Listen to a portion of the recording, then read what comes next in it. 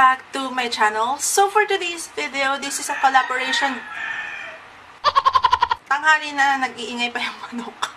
Medyo maingay nga lang, pero hinahabol ko tong film na to kasi this is a collaboration video nga ulit with my small YouTubers International group. And ito yung collaboration namin for the month of April. So this is the summer looks and tips. Yun yung aming, uh, ang tawag dito, ah, uh, nakalimutan ko yung tawag. Team ngayong April. So, April 1 ngayon. And late na ako. Kaya minamadali ko na tong video na to. Hindi na ako nag... Pag uwi ko din sa bahay, hindi na ako nag-atubili. So, sorry mga ka-members ko dyan. Late ako. So, nakita nyo kanina, doon sa start ng video ko, is yun yung looks ko. Actually, yun talaga yung look ko. Every time na pupunta ako sa beach or pupunta ako ng pool, as in mahabang damit, and meron talaga akong shawl or kaya is bolero. Kasi nga, hindi ganon, nakikita nyo naman is chubby-chubbyhan ako. Hindi ganon kaganda yung katawan ko. So, hindi ko kayang i-pull na mag, ako ay kahit mag one piece, hindi ko kaya yon Kahit pwede namang i-one piece yung katawan ko, one piece chicken joy. Pero hindi ko kaya kasi wala akong confidence para doon. Kaya failed ako sa looks, dito tayo sa tips babawi. So without further ado, let's start ng how I do or how I prep and do my makeup pag summer. Yung mga tips ko, yung mga nasa isip ko every time na dumarating na yung katapusan ng February hanggang May. So, yun yung laging nasa isip ko na yun yung kailangan kong gawin pag pumapasok na tong summer season na to. I'm fond of the 12-step skincare routine. Makikita nyo sa channel ko, lagi kong ginagawa yon the 10-step and the 12-step. Pero every summer is hindi ko yun ginagawa. Honestly speaking is nalalagitan ako pag gagawin ko yun every summer. And then, every summer is ang lumalabas at ang laging nakapatong sa vanity ko is the Nature Republic Aloe Vera Gel. So, ito yung ginagamit ko every time or every night or every day, as in every day. Parang ito na yung pinaka-skin prep ko or ito na yung pinaka-skin care ko na ginagawa.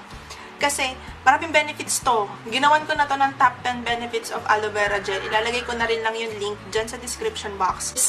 Dahil nag-vacation kami, yung skin ko is masyadong nabilad sa araw dahil nag-beach kami. 3 days kaming nasa beach. So, bilad sa araw, ligo, ma maalat yung maalat yung tubig, and then yung sobrang init is naka sama sa face ko. And ako, nangitim, hindi ako totally na nagtan, pero nagkaroon ako ng little bumps sa muka. Simula dito hanggang ito, yan, So, ginagamot ko siya.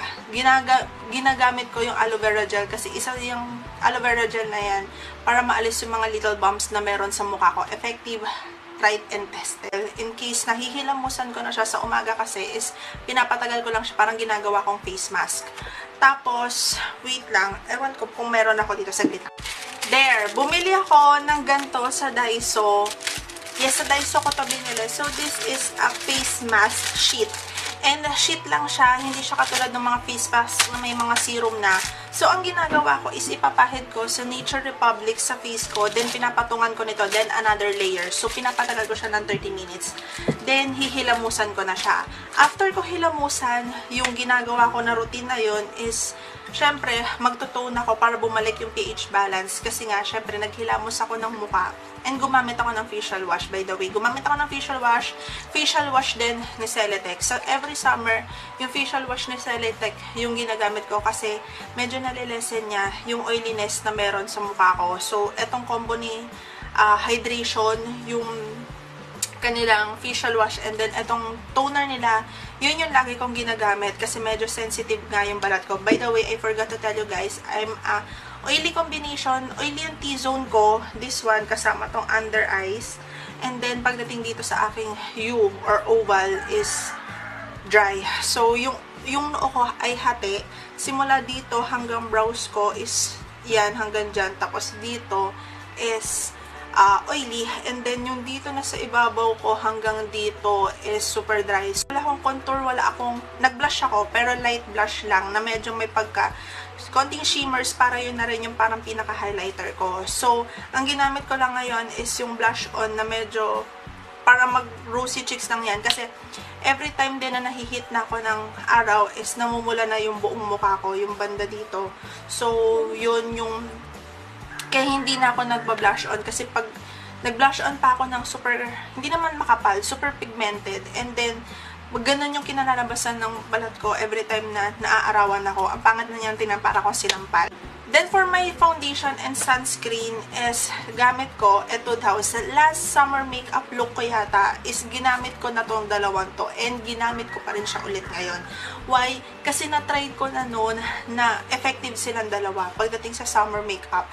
Then, ngayon, syempre, yung pa yung gagamitin ko. Hindi pa ako nakahanap ng mga bagong items na po pwede kong gamitin this summer. So, ito pa rin yung combo na ginagamit ko.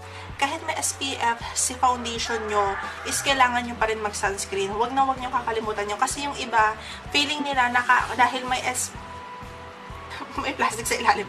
Dahil feeling nila na may SP, SPF na foundation nila is hindi na sila mag-sunscreen. No, iba pa rin ang trabaho ni sunscreen. So, kailangan mag-sunscreen pa rin kayo. And then, yung ginagamit ko is yung Etude House Sunrise While si foundation, ang ginagamit ko is si Etude House Real Powder Cushion with SPF 50+, PA+++.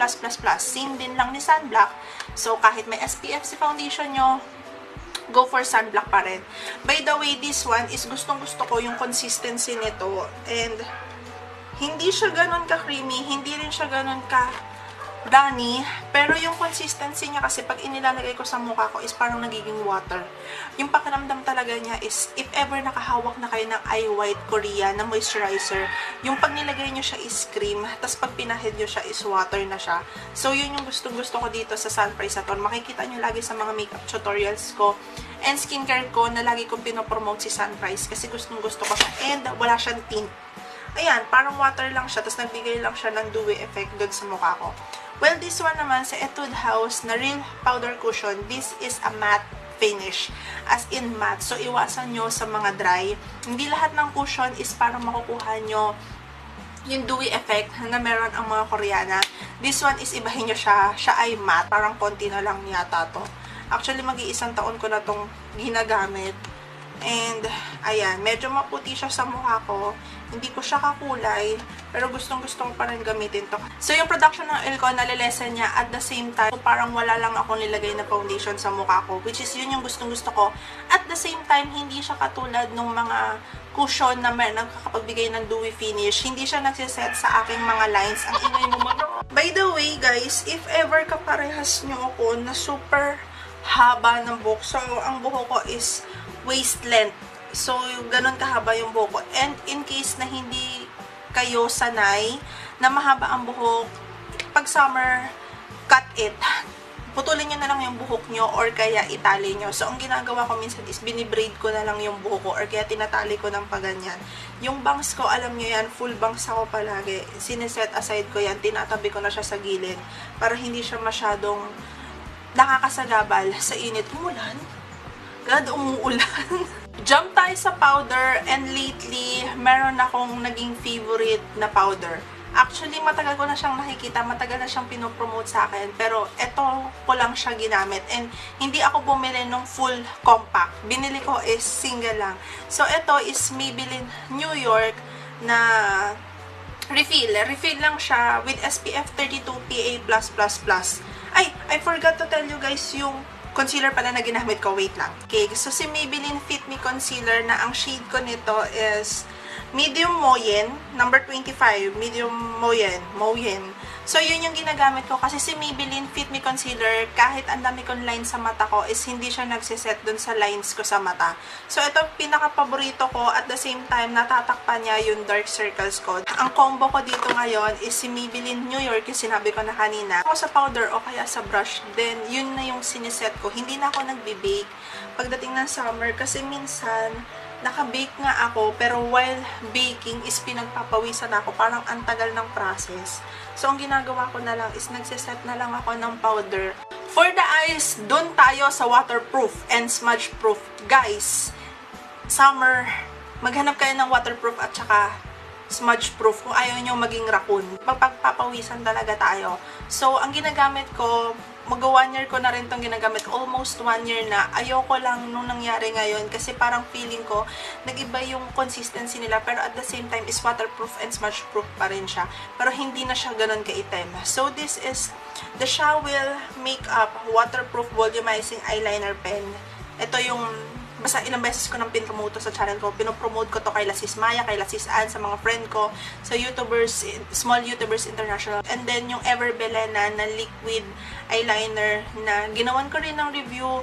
Yon yung dalawang yan ginagamit ko every time na, na mag-beach ako.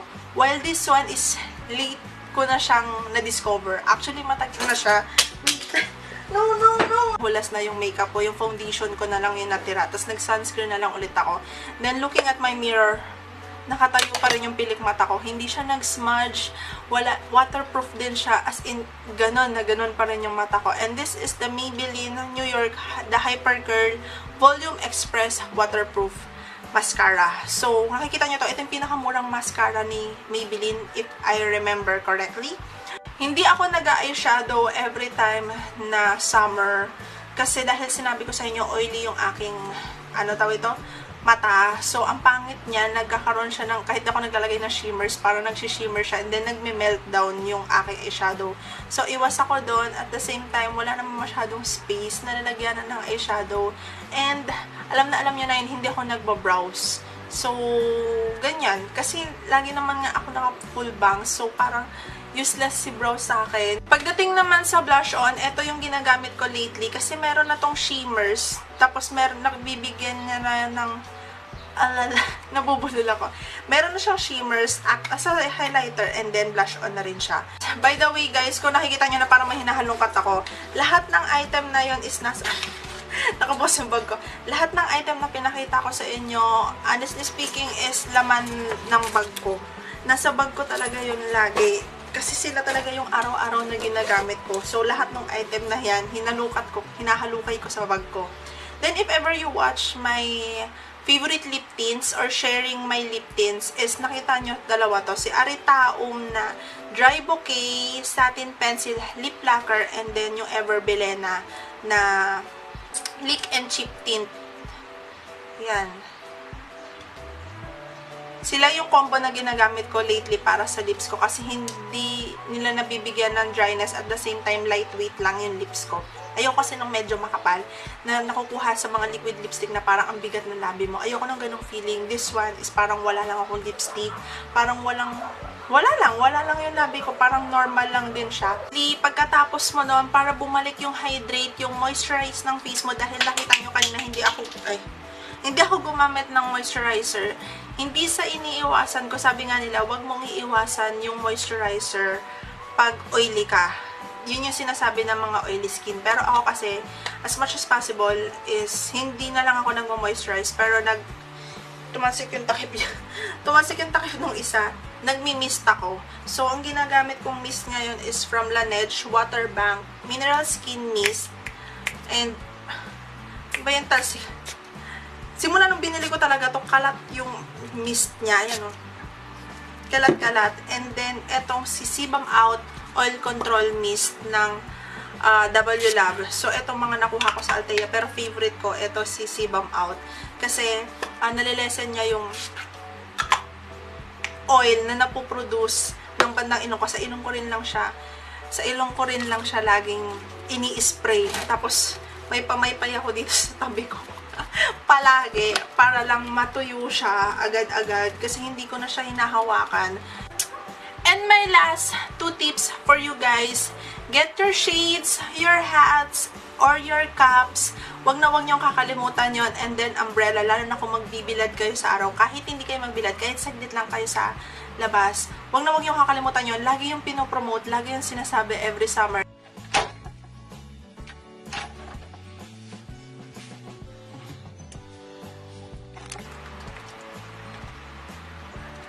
Actually, hindi na pala to Pocari Sweat.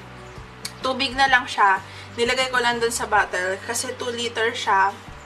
Inaakyat dito sa taas para mainom ko siya on a specific time. So, si Habi kasi mahilig siyang uminom ng tubig. Ako talaga hindi ako mahilig uminom ng tubig dahil ayoko nang palaihi ako. So, siya lang yung nagtuturo sa akin. And lately, yung tinuturo niya sa akin na uminom na uminom na uminom na uminom na uminom ng tubig is ginagawa ko na rin siya. Kasi nare-refresh niya ako. Parang sa mukha. 'Di ba Nagmi-mist tayo, kagaya ng sinabi ko sa inyo kanina. Mist, mist, mist, mist, mist tayo sa mukha para ma-hydrate yung ating mukha. Yung ating makeup is nandyan pa rin. So, ganun din sa katawan, kailangan umiinom tayo ng tubig para mapalitan yung nailalabas nating tubig. And by the way guys, speaking of tubig and mist, ayokong manira ng product, pero si Evian Water Mist, kung if ever nakita nyo na yon I bought that for 200 or 300 pesos. Water din lang talaga siya. Bumili ka na lang ng water ng Evian, then ilagay mo sa sprayer, which is, eto yon Wait lang, ginawa ko kasi siya. Evian, Evian, hindi ko alam paano ko siya basahin. Evian o Evian na tubig yung inilagay ko dito sa sprayer na to. Kaysa bilhin mo yung Kesa bilhin mo yung water mist nila na talagang water din lang naman. Bumili ka na nung ano nila, na isang litro or yung maliit lang nila, tapos isalin mo sa ganyan. Huwag ka nang mag-mist, binili mo lang yung sprayer. That's my contribution sa aming collaboration, makeup tips, skin prep yung akin. So, yun na lang yung i-share ko dahil yung look walang-wala talaga ako nun. So, that's it guys. See you again on my next video. Lahat ng mga links nila is ilalagay ko. Actually, kinapi nila ika-copy-paste ko na lang sa aking description box kasi ganun sila ka-active. Lalo na sila sis Rio, sila sis Ann, sila sis Maya. As in, mahal na mahal talaga nila yung GC. So, thank you guys for watching. Ang ingay ni Manok. See you guys on my next video. Bye-bye!